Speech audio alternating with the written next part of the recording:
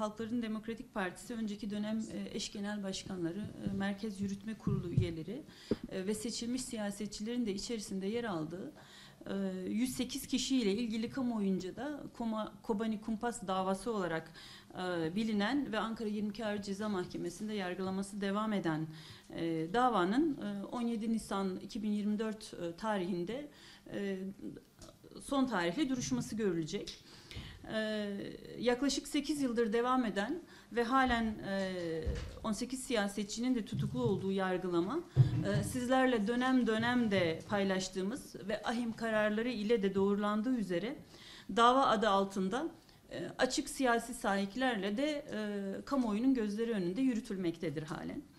E, demokratik siyaset yürüten müvekkillerimizin tüm siyasi çalışmaları, e, meclis konuşmaları vesaire tüm açıklamaları e, bir siyasi anlayışı boğmak üzere e, suç kabul edilmiştir bu yargılama sürecinin en başından itibaren.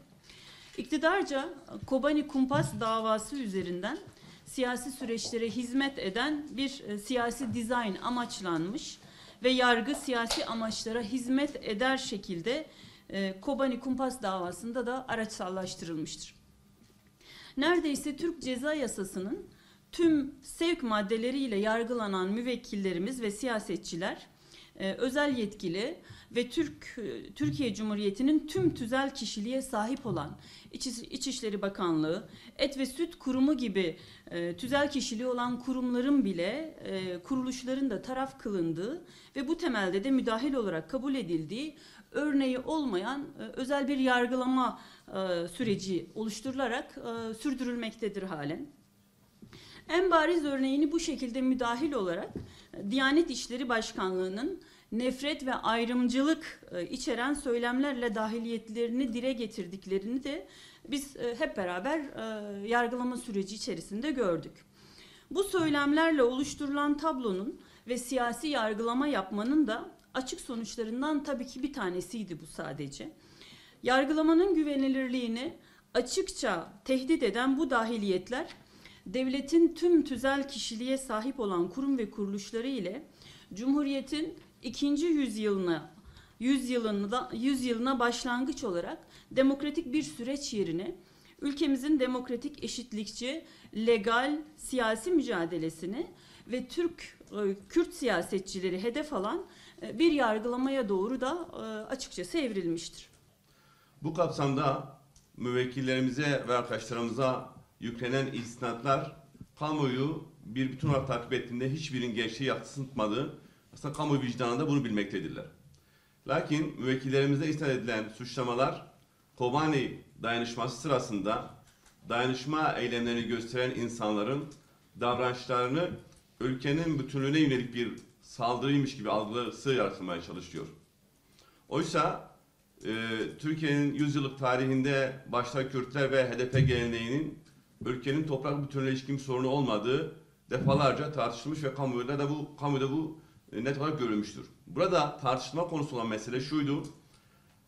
Demokratik toplum düzenlerinde insanların karar alma süreçlerine katılma e, yöntemi olan protesto eylemleri ve sokak eylemleri burada bir suçlama gerekçesi yapıyor.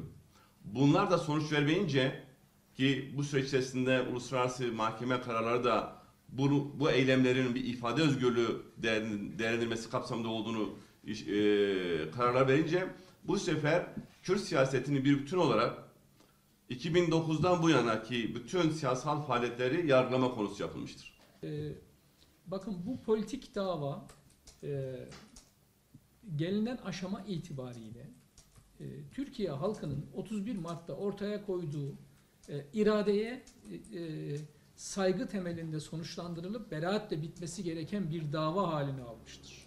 Ve biz yarınki beklentimiz arkadaşlarımızın tamamının tahliye edilmesidir. Hele hele bazı arkadaşlarımız var ki onlar kanunen 7 yıldan fazla e, tutuklu yargılanamayacağına dair hükmü bile ihlal edilen e, arkadaşlarımızdır. Gülten Kuşanak, Sebahat Tuncel kanuna aykırı olarak tam bir siyasi rehine olarak tutulmaktadır. E, yarın saat 10'da yine orada olacağız. E, açıklamamızı gerçekleştireceğiz E, ve arkadaşlarımızın tahliye edilmelerini bekleyeceğiz. Mahkemeden de e, e, siyasi iktidardan da beklentimiz e, Türkiye artık hukuka dönsün. E, Türkiye hukukun üstünlüğü ilkesine giden yola yeniden geri dönsün. E, Türkiye Avrupa İnsan Hakları Mahkemesi'nin Demirtaş Büyük Daire kararı ve Figen Yüksek Dava diğerleri kararında belirtilen ihlal kararlarına uygun olarak bu davayı bir an önce bitirsin ve arkadaşlarımızın hepsini bir an önce tahliye etsin. Yani yarınki beklentimiz budur.